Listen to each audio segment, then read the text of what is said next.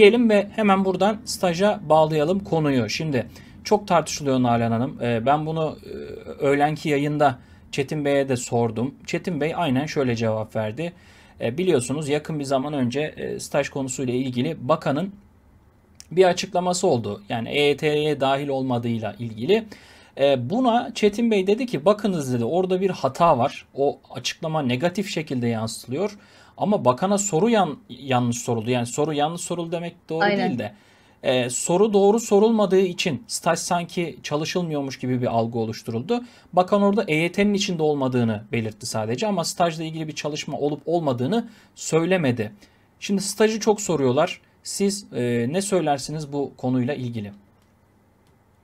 Ben buradan şu, e, bu tamamıyla benim fikrimdir. Öncelikle bunu ısrarla bir söyleyeyim.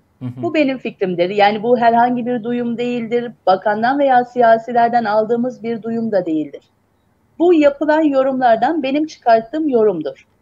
Ee, Sayın Bakanımız Aydın'da yaptığı röportajında stajla ilgili çalışmanın başladığını söyledi.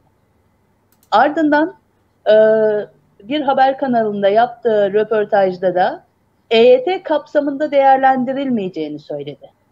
Çalışma yoktur demedi.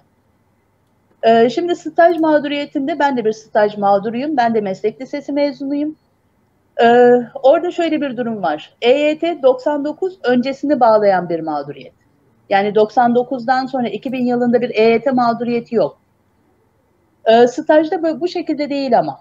Staj meslek liselerinin başlangıcından bugüne kadar gelen bir mağduriyettir. Bu mağduriyette de kapsamlı bir çalışma yapıldığını ve e, o günlerden bugüne kadar gelecek tüm stajyerleri kapsayacak bir çalışma yapıldığını ben bu şekilde yorumladım. Böyle düşünüyorum. Ama bakın bu tamamıyla arkadaşlar yanlış anlamayın lütfen. Bu benim yorumumdur, benim fikrimdir.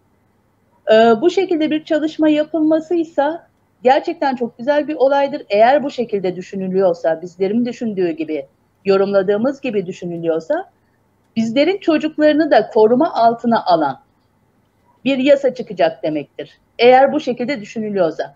E, Biz bu şekildeki yorumumuzu da zaten görüşmelerde Ferhat Başkanım da vardı. Orada da bu yorumlarımızı zaten ilettik. Dedik yani sadece e, 99 öncesi değil bugüne kadar olan tüm meslek liselileri kapsayan bir çalışma olmalı ve bunu da savunuyoruz zaten. Hem meslek liselerine teşvik olacak.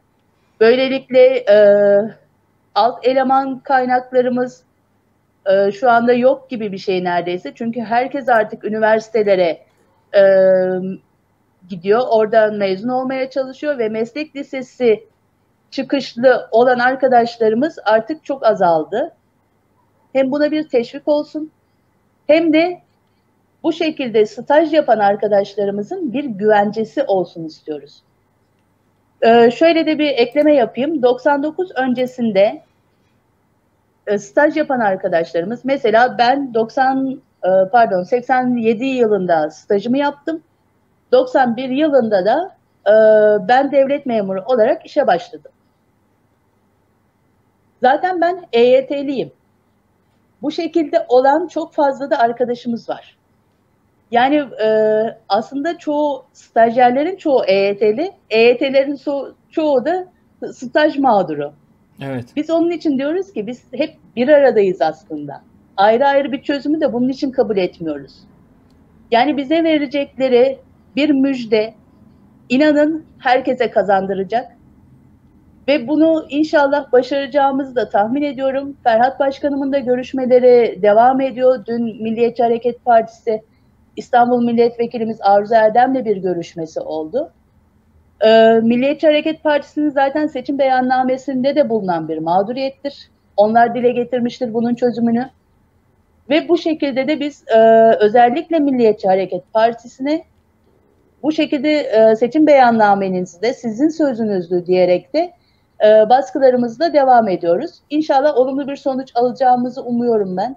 Ben zaten hiçbir zaman umudunu kaybeden birisi değilim. Belki de mücadeleye bunun için ısrarla ve ısrarla devam ediyorum. Ee, inşallah güzel şeyler olacaktır diye umut ediyorum. Peki